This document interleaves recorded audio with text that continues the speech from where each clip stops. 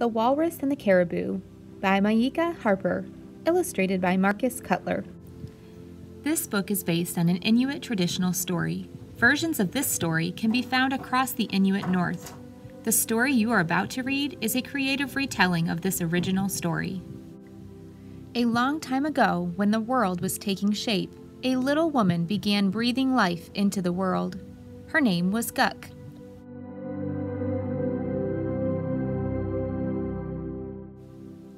How does an animal take shape? she thought. Where does the head go? What goes on the head? Ears? Whiskers? A snout? First came the walrus, breathing in, breathing out. Guk created the walrus from her sealskin parka.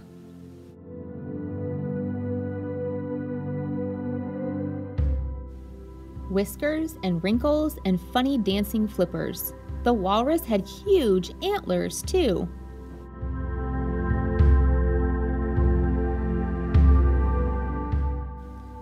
Every time it swam, it would overturn the kayaks in the water. The antlers were too big. The hunters were upset.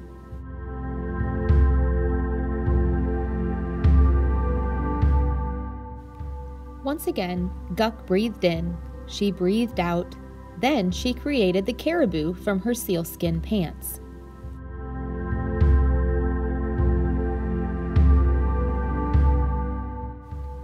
Big hooves and hair everywhere, a large snout, and tusks too.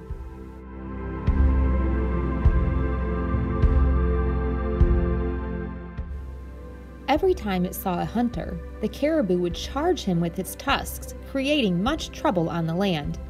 The tusks were too big. The hunters were, again, upset.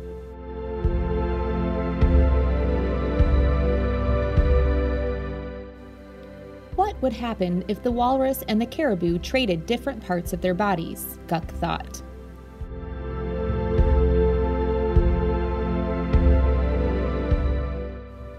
Guk called, Quigasik, Quigasik, come, come, to the walrus and the caribou.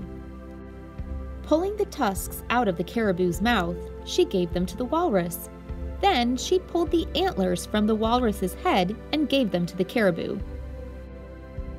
There.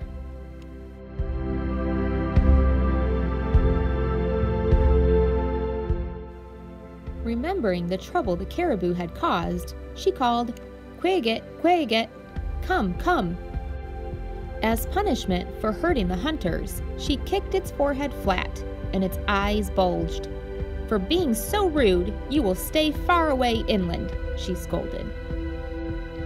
Ever since, whenever a caribou smells a human, it is afraid. If your intentions had the power of creation, what animal would you make? Would it have feathers? Or a big furry tail? Imagine the possibilities.